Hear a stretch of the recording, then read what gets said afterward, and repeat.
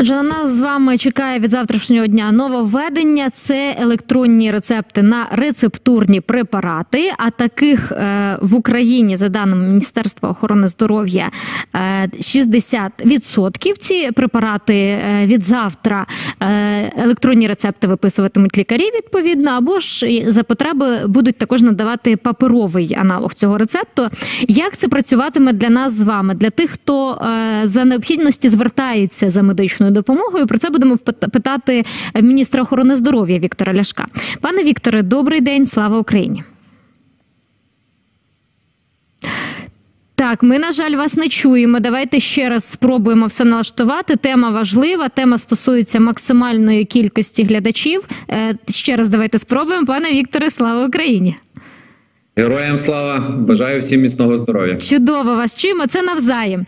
Е, Пане Вікторе, отже, е, від завтрашнього дня електронні рецепти на рецептурні препарати. Е, Питань багато. Я читаю соцмережі, читаю коментарі до відповідних статей, і люди питають, питають, питають. Що зміниться для нас від завтра? Для нас, для пацієнтів. От ми приходимо до лікаря. Що далі? Що чому електронні рецепти ці? Е, Для вас, як пацієнтів, е, з'являється просто додатковий сервіс. Це електронний рецепт на рецептурні лікарські засоби. До цього можна було по електронному рецепту отримати тільки препарати, які були в програмі Доступні ліки. 1 квітня минулого року ми ввели можливість отримувати антибіотики за електронним рецептом. З 1 листопада минулого року додались наркотичні лікарські засоби. Зараз, з 1 квітня 2023 року, за електронним рецептом можна е, купити всі рецептурні лікарські засоби. Ми не змінюємо жодного е, якби співвідношення щодо кількості рецептурних лікарських засобів. Е, Виробник, який проходить е, реєстрацію, е, відразу в інструкції прописує. Ми перевіряємо його по діючому законодавству і визначаємо, це рецептурний лікарський засоб чи не рецептурний. Рецептурний лікарський засоб він призначається лікарем. Він прописується кіль тривалість його вживання, дозу і рецептурні лікарські засоби. В них є як користь, так і може бути негативні наслідки, які можна контролювати і повинен контролювати виключно лікар. І рецептурний і- рецепт це така ще і відповідальність е, того, хто виписує, тому кому і той, хто вживає. Тому це ще додатковий такий соціальний діалог між лікарем і пацієнтом. Пане Вікторе, але ніде правда діти рецептурні препарати, хоча й мають і зараз продаватись за рецептом, в принципі, купити в аптеках ну по-чесному можна. І якщо подивитись в наші аптечки, от зокрема в мою, там є кілька препаратів, які рецептурні, але я їх купувала і кажу чесно, не за рецептом. Це до мене вже питання моєї відповідальності, звісно, чому я так робила, але є. І, зокрема, через це є побоювання, що люди, умовно кажучи, купля... купували якесь знеболювальне чи препарати для зниження тиску без рецепту. А тут е, почули електронний рецепт і думають, що не зможуть купити. Але ж по факту вони не мали права без рецепту його купувати і раніше. От як буде цей момент е, врегульовано? Дивіться, рецептурні повинні е, продаватись і виписуватись і споживатись виключно за рецептом лікаря. Водночас, ми з вами ще перебуваємо в країні, в якій є воєнний стан. І в 2022 році, 5 травня, ми дозволили е, продаж е, рецептурних лікарських засобів постанови Кабінету міністрів України навіть без рецепту, в разі на належного обґрунтування. Чому? Ну бо ми маємо сьогодні. Прифронтові території ми маємо ускладнений доступ до, е, до медичної допомоги, там де рух рушиться інфраструктура, там де е, немає можливості маршрутних сполучень. Тому ми це розуміємо.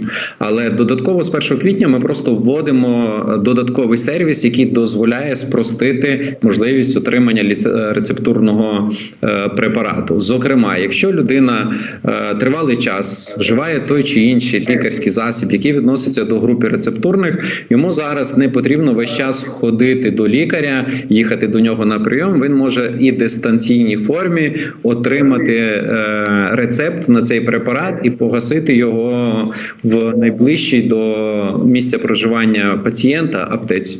Угу. Тобто, умовно кажучи, якщо мені потрібен якийсь препарат, я ну, і мій сімейний лікар е, дозволяє мені приймати цей препарат, то я телефоную йому, і він мені дистанційно виписує цей рецепт.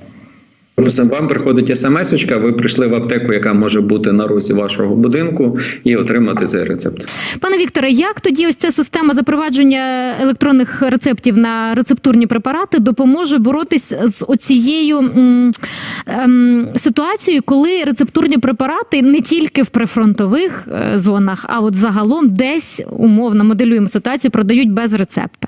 Як це буде контролювати обіг? Це питання повинні да, дякую за запитання. Всі питання повинні вирішуватись крок за кроком. А ми реально бачимо картину, коли у нас самолікування е, досить популярне, і кожен знає, кожен сам собі лікар призначає групу препаратів, а потім е, незадоволений е, якістю медичної допомоги, тому що йому лікарський засіб, який він сам собі призначив, не допомагає. Цього не повинно бути.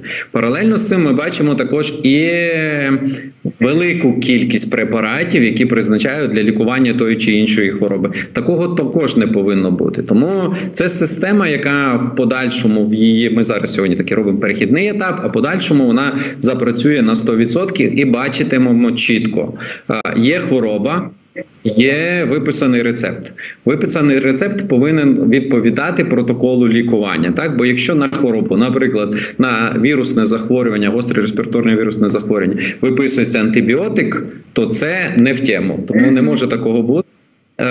Е, є певні речі, коли там, наприклад, є бактеріальне ускладнення, але тоді в електронній системі охорони здоров'я в медичному записі повинні з'явитися е, лабораторні дослідження, які показують, що до вірусного приєдналася бактеріологічна інфекція, і тоді можна застосовувати, е, наприклад, антибактеріальні препарати. І тоді в нас буде великий масив інформації, який дозволятиме аналізувати всю ситуацію, що відбувається в країні.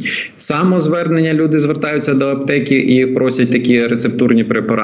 Їм виписують рецепти, і е, тоді ми дивимося, хто виписує це системні речі, які десь ми бачимо, е, як ми, як міністерство, не додивились протокол, вчасно не переглянули. Тоді ми переглядаємо протокол. Пускаємо лікуючим лікарям. Чи лікарі в принципі десь потребують перенавчання, безперервного професійного розвитку для того, щоб побачити, що вже змінилися підходи і технології е, в лікуванні, і це дозволить нам покращити якість. Тому ми вирішуємо. Дві ключових питання: перше це доступність, друге це якість, і паралельно боремося за безоплатність, розширюючи програму Доступні ліки і рекомендуємо всім спочатку цікавитись свого лікуючого лікаря, чи ця група препаратів, про яку ми говоримо, війшла до програми Доступні ліки. Програма Доступні ліки це держава відшкодовує вартість е, лікарського засобу аптеці. А для людини з рецептом цей препарат видається безкоштовно. Пане Вікторе, е, який відсоток аптек зараз підключені до електронної системи і зможуть е, працювати з електронними рецептами? Та майже всі, тобто, ми говоримо про велику кількість сьогодні. Проблем з підключенням до електронної системи охорони здоров'я е, з аптечною е, зі сторони аптек немає. Пане Вікторе, тоді тема е, теж ліків, але ліків для онкохворих. Ми взимку з вами зокрема говорили про це і в ефірі марафону. Теж що був була проблема з дефіцитом ліків і медпрепаратів для онкохворих. Як змінилась ситуація на тепер? Ситуація значно покращилась. Е, більшість е, групи е, онкологічних препаратів є в країні. Наше державне підприємство медичні закупівлі України провело екстрені закупівлі, наблизило строки поставки по деяких контрактах для того, щоб закрити нагальну потребу. Ми маємо певні проблеми по деяких номенклатурних групах, але тут знову ж таки робимо все можливе, якщо немає препарату в Україні. А в цій схемі лікування для даної онкологічної патології, то є можливість поїхати на лікування за кордон повністю безкоштовне для пацієнта. Воно оплачується за кошти е, Європейської комісії, і в рамках системи Медевак ми продовжуємо відправляти і на лікування за кордон. Пане Вікторе, ну тоді можливо у вас є цифри щодо того, скільки українців таким чином е, виїхало за кордон на лікування? От ну з початку року, наприклад. Ну, з початку року нема. Давайте ми, коли запрацювала система Медивак, це вже майже три тисячі українських пацієнтів е, лікуються за кордоном, і вже близько 50% їх повертається після лікування на територію України. Е, пане Вікторе, щодо ситуації з ковідом, теж тема актуальна для весни. Зазвичай в нас в попередні роки е, була хвиля нова ковідна, от якраз навесні. Це кінець березня, початок квітня. Що маємо на тепер?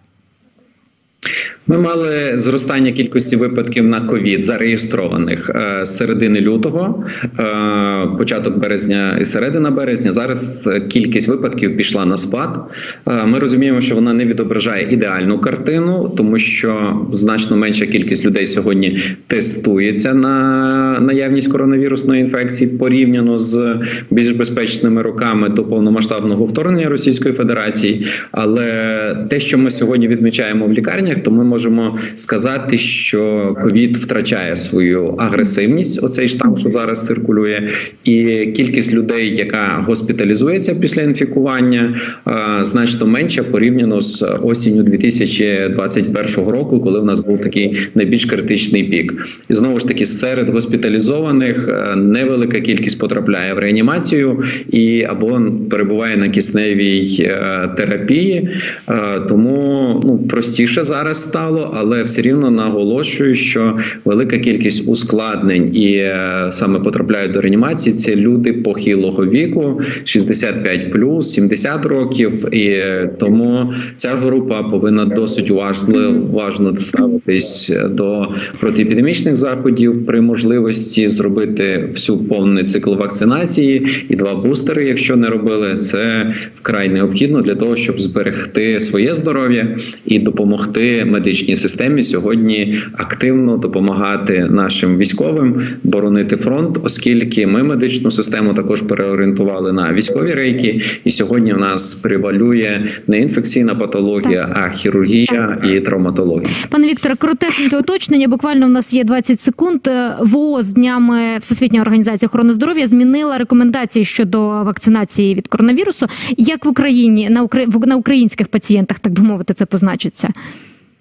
Як тільки Всесвітня організація охорони здоров'я надає оновлені рекомендації, в нас в країні є національна технічна група експертів з імунопрофілактики. Вони збираються, розглядають ці рекомендації і приймають рішення щодо доцільності застосування в Україні в яких нормах. Тому я чекаю їхнього засідання, і вони тоді надають пропозиції Міністерству охорони здоров'я безпосередньо міністру щодо доцільності внесення змін до існуючих наказів, які е, регламентують проведення вакцинації проти ковід і не тільки.